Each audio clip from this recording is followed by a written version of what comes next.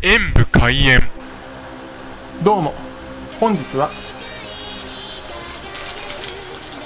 ちらローソンのレモンパイを食べたいと思います。レモン。この中にレモンの何が入ってるんでしょうね。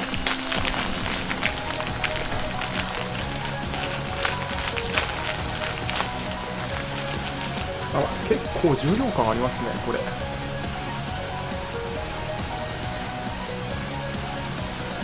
ではいただきます。パイ生地は思ったのとでもレモンはすごいですね。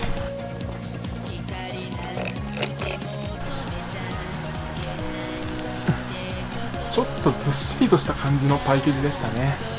サクッとしたのが好みの自分としてはちょっと違ったかなと思いましたが中に入っているレモンクリームはさっぱりしていてずしっとした中にもさっぱり感があってとてもお美味しくいただくことができましたさっぱりしたいけどちょっと食べ応えも欲しいという方にはおすすめですね。